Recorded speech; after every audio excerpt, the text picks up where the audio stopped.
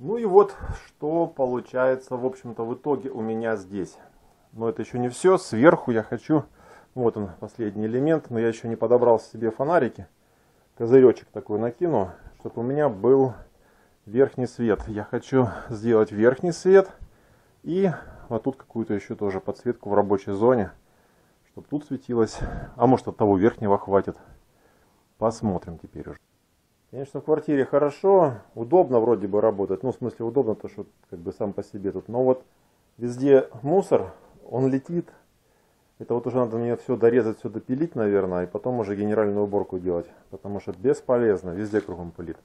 Так, ну, в общем, я еще вот чего тут забабахал. То есть вот у меня, помните, вот такая вот была этажерка старенькая. Просто обувь. Ну, а теперь решил, чтобы можно было садиться, переобуваться. Четыре пары обуви дежурной сюда влазят свободно. Ну и здесь потом еще крючки добавлю. Вот. И, как говорится, повседневная одежда, та, которой пользуешься, то есть накинул все. И еще что-нибудь такое сделать, чтобы вот ключи куда было кинуть. Хотя у меня ключница есть, я ее собирался куда-то сюда крепить. Может быть даже, может даже сейчас я прикреплю. Пока все равно перфоратор все здесь на месте. Вот. Ну, как обычно, я сначала делаю, а потом начинаю как-то постепенно облагораживать. А она стоит, вещь, э, вот шкаф там что-нибудь еще. Потом мысли доходят, еще какую-то полочку туда, еще чего-то, еще чего-то. И все. Я уже понял, что главное сделать каркас. Это вот как с кухней. Ну, с кухней у меня дальше идея есть, но просто пока вот это все не сделаю, дальше я не двигаюсь. Ну ничего. Все, продолжим потихонечку делать, развивать. Слушайте, я, конечно, фигею сцен, которые сейчас у нас установились. Ну вот, чуть-чуть метизов, горсточка саморезов, да, грубо говоря. Так, три крючка. Это вот прихожку сюда, что вот делал недавно. Еще один, одну ручку, ну покажу, зачем взял ее, своя идея. Вот еще саморезики. Выключатель такой вот решил двухклавишник. Все. А, нет, четыре уголочка. Вот это москитная сетка, прижим межсекционный, уголок вот сюда и четыре рейки. И все это мне обошлось всего лишь, всего лишь 2743 рубля. Мне когда это вручили в руки, я такой думал, блин, по-моему, я что-то еще очень дорогое с бриллиантами случайно положил в сумку. Потом пересматриваю, не а, а оно все начинает набегать. Крючки рублей по 300, блин, эта фигня рублей 500. Здесь метизы тоже подорожали, вот уже 300 с чем-то. Это 300 с чем-то, это 300, это 300, там 300. Ну да, про, про тракториста, блин, короче говоря. И все, и радуйся. Вот, считай, на 3000 вот ты вот приобрел. Я хрен его знаю. То есть ремонт делаешь, и удивляешься и, и поражаешься. Я даже сейчас не знаю, что выгоднее. Купить квартиру с ремонтом, э, который застройщик будет делать, и это лотерея, повезет, не повезет. Или же лучше все-таки голые стены, и ты уже сам будешь там рационально использовать свой ресурс, э, находить работников, может своими силами опять-таки будешь делать. Но мне кажется, второй вариант более предпочтительный. Ты будешь точно знать, из чего ты делаешь и как, искать материалы, искать работников, искать свои силы и возможности и так далее. Но это что-то вообще адовое, конечно же. На рынке творится. Ну, про продукты я тоже молчу. Все растет. Но нас убеждают, что это все нам на пользу. И, в общем-то, осталось только дождаться этой пользы. Что хочу сказать. На улице жарковато стало. Самое время испытать кондиционер. И вот всегда было некогда мне подключить слив, ну просто подключить э, слив именно в канализацию. А теперь сразу быстренько время нашлось, как только это прижучило. Выделил полчаса, провел, все, сливается, все отлично. Прохлада наступила. Так, пришел ко мне наконец-то мастер. Я могу показать, как выглядит от самолета, вот изначально.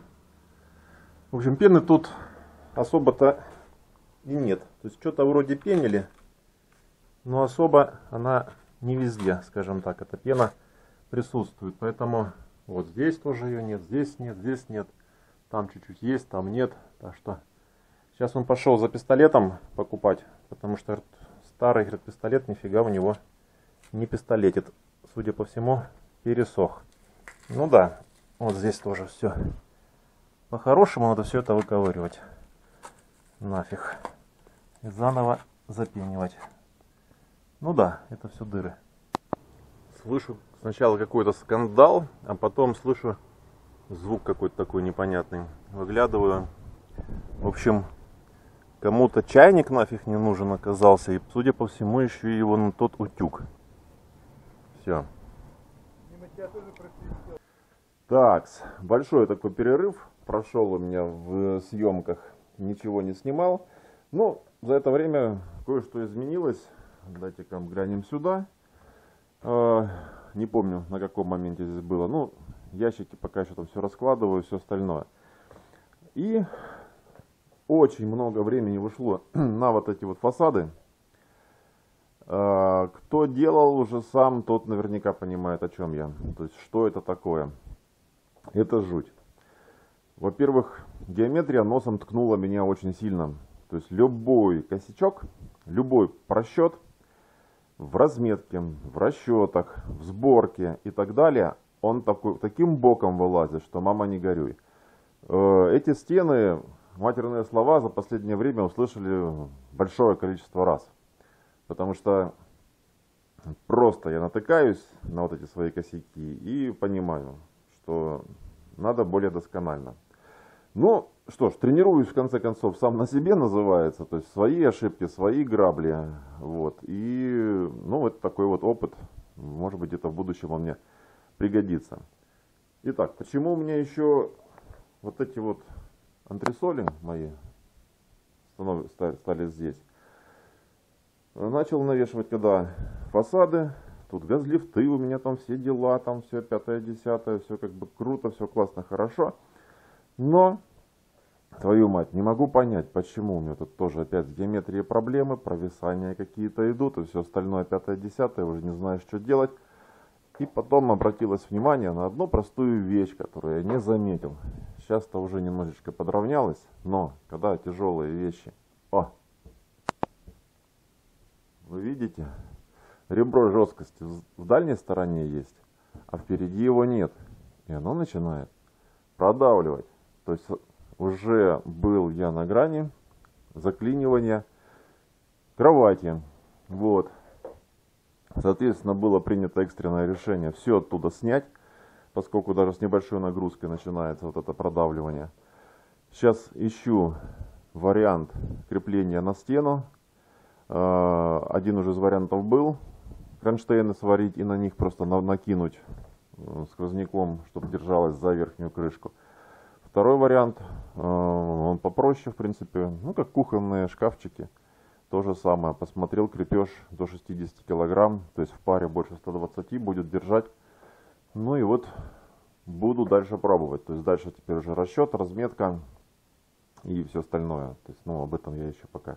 Об этом завтрашний Дима подумает. У меня сейчас другие немножечко задачи стоят. Э, надо разобраться. Продолжаю раскладывать еще вещи, количество ящиков уменьшается, но бардак при этом еще как-то вот не исчезает. То есть вроде бы вот, вот, вот, вот, вот уже, вот еще чуть-чуть, и хлобысь что-нибудь происходит, и все. Тут э, с вот этим вот фасадом нижним, чтобы он открывался туда, куда мне надо, и удерживался в верхнем положении, без малого три дня. То есть не то, что прямо именно три дня им занимался, но я опа-опа-опа, какой-то крепеж, какую-то защелку. Потом вот эти вот газлифты, которые барные, секретерные, э, купил, приехали они. Не подошли. Ну, в общем, э, знаете, все вот в мелочах начинается. То есть вот какая-то фигня э, не дает двинуться дальше. Но с этим сталкивался не раз и все. А вообще думал, что вот за вот эти вот там, сколько я тут, неделю э, сделаю намного больше. Вот. Заняло время у меня тут еще перегон мото. Ну, это вот пока временное решение здесь. Шлем тут. Вот. Ну, в общем, то одно, то другое, то пятое, то десятое. Но, тем не менее, все у меня продолжается. Э, планы намечены на дворе. Прохладное лето, прекрасная погода. И вот прям такой длинный такой у меня выход получился, не короткий, да. Но я продолжаю свои дела, буду, кому интересно, как говорится, делиться ими своими дальше с вами.